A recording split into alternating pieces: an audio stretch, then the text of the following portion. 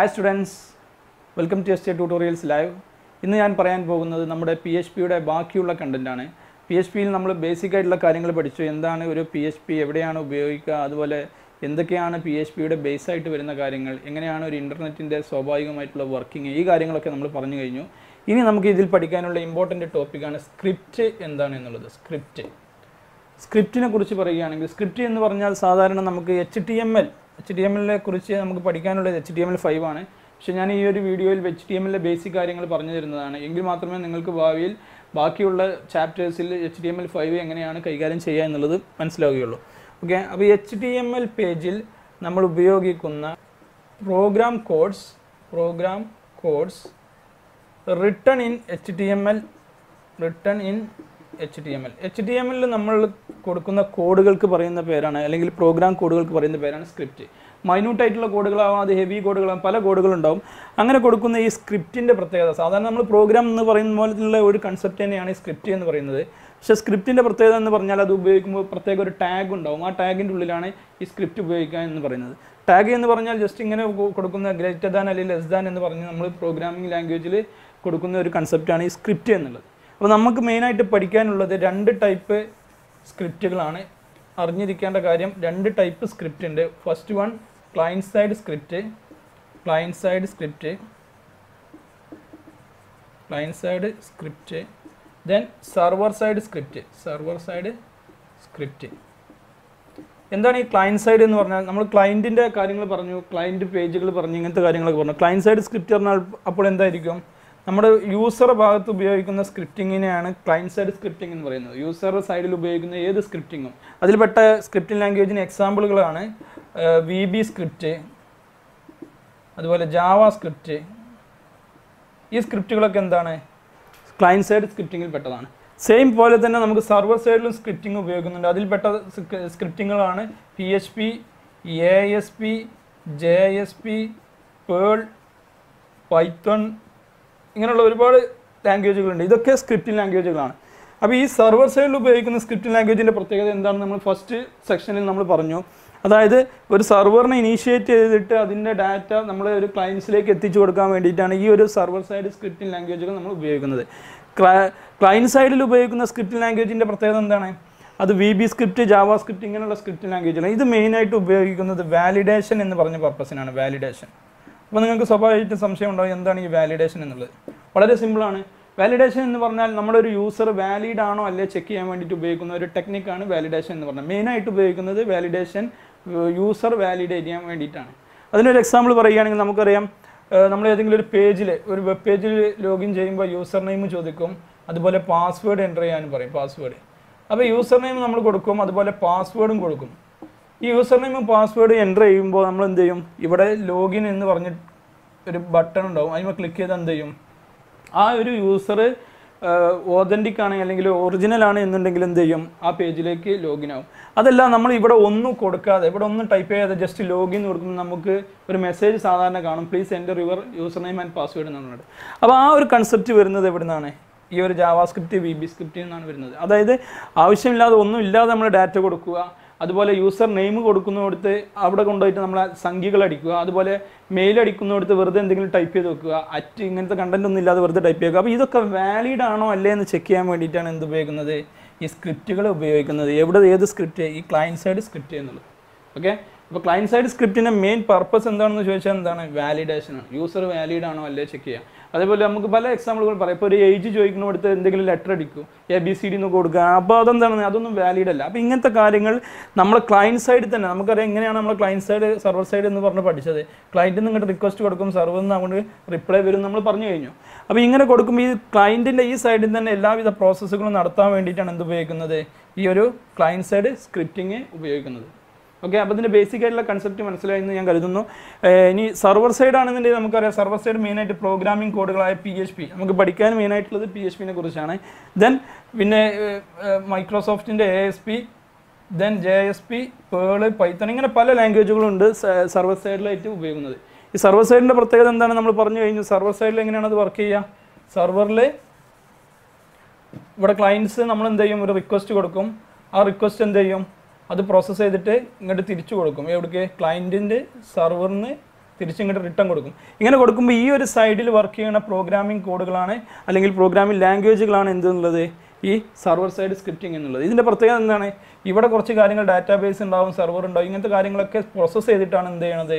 Data ഇങ്ങോട്ട് തിരിച്ചു കൊടുക്കുന്നത്.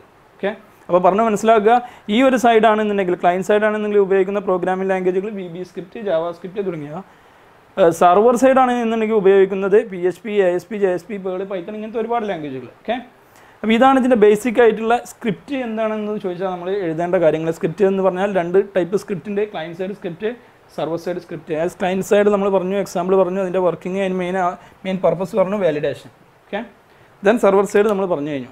ഇനി നമുക്ക് പഠിക്കാനുള്ളത് ക്ലയന്റ് സൈഡ് സ്ക്രിപ്റ്റിങ്ങും അതുപോലെ സർവർ സൈഡ് സ്ക്രിപ്റ്റിങ്ങും തമ്മിലുള്ള മെയിൻ ഡിഫറൻസുകൾ എന്തൊക്കെയാണെന്നുള്ളതാണ്. അപ്പോൾ നമ്മളിവിടെ ഞാൻ കൊടുത്തിട്ടുണ്ട് ക്ലയന്റ് സൈഡ് സ്ക്രിപ്റ്റിംഗ് അതുപോലെ server side scripting client side സ്ക്രിപ്റ്റിങ്ങിന്റെ പ്രത്യേകത എന്താണ്? നാല് ഡിഫറൻസുകളാണ് മെയിനായിട്ട് വരുന്നത്. First difference copied to the client browser copied to the client browser എന്താ copied to the client browser എന്ന് പറഞ്ഞാൽ നമ്മൾ ചെയ്യുന്ന കാര്യങ്ങളെല്ലാം ക്ലയന്റ് ബ്രൗസറിന്റെ ഉള്ളിലാണ് എന്ത് ചെയ്യുന്നത്? പ്രോസസ്സ് ചെയ്യുന്നതും അത് എക്സിക്യൂട്ട് ചെയ്യുന്നതും കാര്യങ്ങളൊക്കെ ചെയ്യുന്നത് ക്ലയന്റ് സൈഡ് സ്ക്രിപ്റ്റിങ്ങിൽ എവിടെ തന്നെയാണ്? ക്ലയന്റിന്റെ ബ്രൗസർ അതായത് നമ്മൾ ഉപയോഗിക്കുന്ന യൂസർ ഉപയോഗിക്കുന്ന ബ്രൗസറിന്റെ ഉള്ളിലാണ് എല്ലാ കാര്യങ്ങളും നടക്കുന്നത്. Then remains in the server server side സ്ക്രിപ്റ്റിങ്ങിന്റെ പ്രത്യേകത എന്താണ്? നമ്മൾ ചെയ്യുന്ന എല്ലാ കാര്യങ്ങളും സെർവറിൽ അവിടെ സ്റ്റോർഡ് ആയിരിക്കും. സെർവറിൽ നിന്നാണ് എല്ലാ കാര്യങ്ങളും ചെയ്യുന്നത്. ഏത്? സെർവർ സൈഡ് സ്ക്രിപ്റ്റിംഗ് ആണെങ്കിൽ അത് എക്സിക്യൂട്ട് ചെയ്യുന്നതും അത് റൺ ചെയ്യുന്നതും അതിന്റെ ഫയൽ റിട്ടേൺ തരുന്നതെല്ലാം എവിടെ നിന്നാണ് സെർവർ സൈഡിൽ നിന്നാണ് പക്ഷേ ഈ ക്ലയന്റ് സൈഡ് ആണെന്നുണ്ടെങ്കിൽ അതെന്താണ് നമ്മുടെ യൂസറുടെ ബ്രൗസറിൽ നിന്നാണ് എല്ലാ കാര്യങ്ങളും നടക്കുന്നത്. ഇതാണ് മെയിൻ ഫസ്റ്റിലെ ഡിഫറൻസ് എന്നുള്ളത്. ഓക്കെ സിമ്പിളാണ് രണ്ടാമതായി ഇതിന്റെ യൂസേജ് ആണ്. യൂസ്ഡ് ഫോർ വാലിഡേഷൻ ഇത് എന്താണ് ക്ലയന്റ് സൈഡ് സ്ക്രിപ്റ്റിംഗ് മെയിനായിട്ട് ഉപയോഗിക്കുന്നത് വാലിഡേഷൻ പർപ്പസിന് വാലിഡേഷൻ എന്ന് പറഞ്ഞാൽ എന്താ നമ്മൾ പറഞ്ഞു കഴിഞ്ഞു? ഒരു യൂസർ വാലിഡ് ആണോ അല്ലേ എന്ന് ചെക്ക് ചെയ്യുന്നതിനാണ് വാലിഡേഷൻ എന്ന് പറയുന്നത്. അതായത് നമ്മൾ ഇൻപുട്ട് കൊടുക്കുന്ന ഡാറ്റ ഒറിജിനൽ ആണോ അല്ലെങ്കിൽ കൊടുക്കുന്ന ഡാറ്റയിൽ എന്തെങ്കിലും എറർ ഉണ്ടോ ചെക്ക് ചെയ്യുന്നതിനാണ് വാലിഡേഷൻ എന്ന് പറയുന്നത്. അപ്പോൾ ഈ ക്ലയന്റ് സൈഡ് സ്ക്രിപ്റ്റിംഗ് മെയിനായിട്ട് ഉപയോഗിക്കുന്നത് വാലിഡേഷൻ പർപ്പസിനാണ് ദെൻ ഇവിടെ സർവർ സൈഡാണ് മെയിനായിട്ട് ഉപയോഗിക്കുന്നത് എന്താണ്? Connected to D B D B എന്ന് പറഞ്ഞാൽ ഡാറ്റാബേസ് മെയിനായിട്ട് ഉപയോഗിക്കുന്നത് ഡാറ്റാബേസിനോട് കണക്ട് ചെയ്യാൻ വേണ്ടിയിട്ടാണ്. അതുപോലെ തന്നെ ഇറ്റ് റിട്ടേൺസ് ദി ഡാറ്റ സെർവറിൽ നിന്ന് ഡാറ്റ ക്ലയന്റിലേക്ക് എന്ത് ചെയ്യുക? ഡാറ്റ സെൻഡ് ചെയ്യിക്കാൻ റിട്ടേൺ കൊടുക്കാൻ വേണ്ടിയിട്ടാണ് എന്ത് ഈ ക്ലയന്റ് സെർവർ സൈഡ് സ്ക്രിപ്റ്റിംഗ് ഉപയോഗിക്കുന്നത്. അപ്പോൾ മനസ്സിലാക്കേണ്ട കാര്യം ഇതാണ്. ക്ലയന്റ് സൈഡ് ആണെന്നുണ്ടെങ്കിൽ വാലിഡേഷൻ ആണ് മെയിൻ പർപ്പസ് സെർവർ സൈഡ് ആണെങ്കിൽ ഡാറ്റാബേസ് കണക്ഷനും അതുപോലെ ആ ഡാറ്റ റിട്ടേൺ കൊടുക്കലും കൊടുത്ത ഡാറ്റ റിട്ടേൺ തരലും ഡ്യൂട്ടിയാണ് ആർക്കുള്ളത്? സെർവർ സൈഡിന് ഉള്ളത്. മൂന്നാമത് ഉള്ള ഒരു ഡിഫറൻസ് എന്ന് പറഞ്ഞാൽ എന്താണ്? Users can block the client side scripting client side scripting arc block ചെയ്യുക? യൂസറിനെ ബ്ലോക്ക് ചെയ്യുക. എങ്ങനെയാണ് ബ്ലോക്ക് ചെയ്യുക? നിങ്ങൾ തന്നെ നിങ്ങൾക്ക് തന്നെ അറിയാൻ പറ്റും നിങ്ങളെ വെബ് ബ്രൗസർ എടുത്തിട്ട് നിങ്ങൾക്ക് വെബ് ബ്രൗസറിന്റെ സെറ്റിങ്സിൽ പോയാൽ. നമ്മൾ ഉപയോഗിക്കുന്ന വെബ് ബ്രൗസറിന്റെ സെറ്റിങ്സിൽ പോയാൽ അതിലുണ്ടാവും എന്ത്? ബ്ലോക്ക് ജാവാ സ്ക്രിപ്റ്റ് കോഡ് അല്ലെങ്കിൽ block V B script code എന്ന് പറഞ്ഞ ഓപ്ഷൻസ് ഉണ്ടാവും. ജസ്റ്റ് ടിക്കറ്റ് കൊടുത്താൽ മതി. അപ്പോൾ എന്താ സംഭവിക്കുന്നത്? ഈ വാലിഡേഷനും കാര്യങ്ങളും വർക്ക് ചെയ്യാതെ നമുക്ക് എന്ത് ചെയ്യും? നമുക്ക് തന്നെ ബ്ലോക്ക് ചെയ്യാൻ പറ്റും. വാലിഡേഷൻ വേണോ വേണ്ടോ എന്നുള്ളതൊക്കെ ബ്ലോക്ക് ചെയ്യാൻ പറ്റും. എല്ലാ യൂസറിനും പോലെ നമുക്ക് എന്ത് ഉപയോഗിക്കുന്ന ആളുകൾക്ക് ഡാറ്റ പാസ് ചെയ്യുന്നത് ബ്ലോക്ക് ചെയ്യാൻ വേണ്ടിയിട്ടാണ് എന്ത് ഉപയോഗിക്കുന്നത്? ഈ ഉപയോഗിക്കാൻ പറ്റും എന്തിനെ? ഈ ക്ലയന്റ് സൈഡ് സ്ക്രിപ്റ്റിംഗ് ആണെന്നുണ്ടെങ്കിൽ. ജസ്റ്റ് എന്ത് ചെയ്യുക ഒരു ടിക്ക് കൊടുത്താൽ എന്ത് ചെയ്യും? ആ ഡാറ്റ വാലിഡേഷനും കാര്യങ്ങളും ബ്ലോക്ക് ചെയ്യാൻ പറ്റും. പക്ഷേ എന്താണ്? നമ്മൾ യൂസർ സെൻഡ് ചെയ്യുമ്പോൾ ആ ഒരു വാലിഡേഷൻ നടക്കില്ല എന്നുള്ളൂ. അത് യൂസറുടെ ഭാഗത്ത് തന്നെ ആയതുകൊണ്ട് പ്രത്യേകിച്ച് എന്തില്ല? അതിന് പ്രത്യേകിച്ച് എഫക്റ്റ് ഒന്നും ചെയ്യില്ല. അതാണ് എന്ത്? ഇതിന്റെ മറ്റൊരു പ്രത്യേക ക്ലയന്റ് സൈഡ് സ്ക്രിപ്റ്റിംഗ് ആണെങ്കിൽ നമുക്ക് ബ്ലോക്ക് ചെയ്യാൻ പറ്റും ഡാറ്റിന്റെ ഫ്ലോ അതുപോലെ സർവർ സൈഡ് ആണെങ്കിൽ എന്താണ്? Cannot block the user. യൂസറിന് എന്ത് ചെയ്യാൻ പറ്റില്ല ബ്ലോക്ക് ചെയ്യാൻ പറ്റില്ല. അതായത് ഞാനിവിടെ ഇരുന്നാണ്ട് എന്തെങ്കിലും ഡാറ്റ ടൈപ്പ് ചെയ്യുമ്പോൾ എന്ത് ചെയ്യുക യൂണിവേഴ്സിറ്റിന്റെ സെർവറോ അതുമല്ലെങ്കിൽ വേറെ എന്തെങ്കിലും സെർവറോ ഫേസ്ബുക്കിന്റെ സെർവറിലെ ഡാറ്റ എന്ത് ചെയ്യാൻ പറ്റില്ല? എനിക്ക് ആളുകൾക്ക് ഡിസ്ട്രിബ്യൂട്ട് ചെയ്യുന്നത് ബ്ലോക്ക് ചെയ്യാൻ കഴിയില്ല. അതിനെന്ത് ചെയ്യണം? അതിന് എക്സ്ട്രാ ഹാക്കിങ്ങും കാര്യങ്ങളൊക്കെ ചെയ്യുന്ന ആളുകൾക്ക് മാത്രമേ എന്ത് ചെയ്യാൻ പറ്റുള്ളൂ. ആ സെർവറിൽ കയറിയിട്ട് ബ്ലോക്ക് ചെയ്യാൻ കഴിയുള്ളൂ. അതന്നെ എന്താണ് ആ സെർവറിന്റെ കോഡിൽ ചേഞ്ച് വരുത്തില്ല ചെയ്യുള്ളൂ. അല്ലാഞ്ഞാൽ എന്ത് ചെയ്യാൻ കഴിയില്ല? Cannot blocked by the user യൂസറിനെ കൊണ്ട് എന്ത് ചെയ്യാൻ പറ്റില്ല? ബ്ലോക്ക് ചെയ്യാൻ കഴിയില്ല. ഏത്? Server side scripting client side scripting ആണ് എന്ത് ചെയ്യുക? യൂസർക്ക് ബ്ലോക്ക് ചെയ്യാൻ കഴിയും. ഓക്കെ ദെൻ നാലാമത്തെ ഡിഫറൻസ് വേർഷൻ എഫക്ട് ദി അതായത് വെബ് ബ്രൗസറുടെ വേർഷൻ വെബ് ബ്രൗസർ ഏതാണ് വേർഷൻ ഉപയോഗിക്കുന്നത്?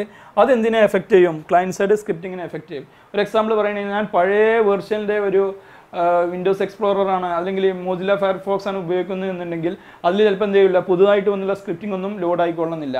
അപ്പോൾ നമ്മൾ എന്ത് ചെയ്യണം? പുതുതായിട്ട് വരുന്ന സ്ക്രിപ്റ്റിംഗ് ലോഡ് ആണെങ്കിൽ അതിന്റെ അപ്ഡേഷൻ പുതിയ വേർഷൻസ് ഇൻസ്റ്റാൾ ചെയ്യണം. അപ്പോൾ മാത്രമേ എന്ത് ചെയ്യുള്ളൂ? ആ ഒരു പുതിയ അപ്ഡേഷൻ വന്നത് ഈ ഒരു വെബ് ബ്രൗസറിൽ വർക്ക് ചെയ്യുള്ളൂ. അപ്പോൾ അതാണ് ഈ ഉദ്ദേശിക്കുന്നത്. നമുക്ക് പുതുതായിട്ട് വന്ന വേർഷൻസ് ഏതുണ്ടെങ്കിൽ അത് ഇൻസ്റ്റാൾ ചെയ്താൽ എന്ത് ചെയ്യും? അത് ഈ ക്ലയന്റ് സൈഡിനെ എഫക്റ്റ് ചെയ്യും. അതായത് പഴയ വേർഷനാണ് ഉപയോഗിക്കുന്നുണ്ടെങ്കിൽ നമ്മൾ പുതുതായിട്ട് എന്തെങ്കിലും സംഭവം ചെയ്താൽ ആ ഒരു വാലിഡേഷൻ എന്ത് ചെയ്യില്ല? ക്ലയന്റ് സൈഡ് സ്ക്രിപ്റ്റിങ്ങിൽ എഫക്റ്റ് ചെയ്യില്ല. അതായത് അതിൽ മാറ്റങ്ങളൊന്നും കാണിക്കില്ല. പുതുതായിട്ട് അപ്ഡേറ്റ് ചെയ്താൽ മാത്രമേ എന്തേ ഉള്ളൂ അത് മാറ്റം വരുള്ളൂ. അതാണ് ഈ ക്ലയന്റ് സൈഡ് സ്ക്രിപ്റ്റിംഗ് കൊണ്ട് ഉദ്ദേശിക്കുന്നത്. നമ്മൾ എന്താണോ കൊടുക്കുന്നത് അത് അതിൽ എഫക്റ്റ് ചെയ്യും. അതായത് പഴയ വേർഷനിൽ നിന്ന് പുതിയ വേർഷനിലേക്ക് അപ്ഡേറ്റ് ചെയ്താൽ മാത്രമേ പുതിയ കാര്യങ്ങൾ നമുക്ക് ചെയ്യാൻ കഴിയുകയുള്ളൂ. അപ്പോൾ വേർഷനെ എഫക്റ്റ് ചെയ്യും ഏതിനാ? ഈ ക്ലയന്റ് സൈഡ് സ്ക്രിപ്റ്റിങ്ങിനെ പക്ഷേ ഈ സർവർ സൈഡ് സ്ക്രിപ്റ്റിംഗ് ആണ് എന്ത് ചെയ്യുക? Not effect the version version effect ചെയ്യയില്ല. അതായത് നമ്മൾ നമുക്കറിയാം ടൂ തൗസൻഡ് എയ്റ്റ് അതേപോലെ ടൂ തൗസൻഡ് ടെൻ ഒക്കെയാണ് വെബ് സെർവറുകൾ വരുന്നത്. ഈ സെർവറുകൾ വിൻഡോസിന്റെ ഒരു എക്സാമ്പിളാണ് പറയുന്നത് വിൻഡോസിന്റെ സെർവറുകൾ അപ്പോൾ ഇതിന്റെ എത്ര വേർഷൻ ഇത് ഓൾഡ് വേൾഡ് വേർഷൻസ് ഒക്കെ ഇപ്പോഴും ഉപയോഗിക്കുന്നവരുണ്ട്. അപ്പോൾ ഇതിന്റെ എത്ര വേർഷൻസ് മാറിയാലും അതായത് ടൂ തൗസൻഡ് ത്രീ അങ്ങനെ പല വേർഷൻസ് ഉപയോഗിക്കുന്നുണ്ട്. ഇങ്ങനെയുള്ള ഈ സെർവറിലെ ഏത് വേർഷൻസ് മാറിയാലും എന്ത് ചെയ്യുന്നില്ല ഈ സെർവറിനെ എഫക്റ്റ് ചെയ്യുന്നില്ല. സെർവറിന്റെ ഡാറ്റക്കോ അങ്ങനത്തെ കാര്യങ്ങളോ അതിന്റെ വേർഷൻ ഏതിനെ എഫക്റ്റ് ചെയ്യില്ല. ഈ സെർവറിന്റെ സ്ക്രിപ്റ്റിങ്ങിനെ എഫക്റ്റ് ചെയ്യില്ല. പക്ഷേ ഈ വേർഷൻ എഫക്റ്റ് ചെയ്യും. ഏതിനെ? ക്ലയന്റ് സ്ക്രിപ്റ്റിംഗ് ആണെങ്കിൽ ഞാൻ പറഞ്ഞല്ലോ ഇപ്പോൾ ബ്രൗസറിന്റെ വേർഷൻസ് മാറിക്കൊണ്ടിരിക്കുമ്പോൾ എന്ത് ചെയ്യും? അത് ഇതിനെ എഫക്റ്റ് ചെയ്യും. പക്ഷേ സെർവറിന് അത് എഫക്റ്റ് ചെയ്യില്ല. ഓക്കെ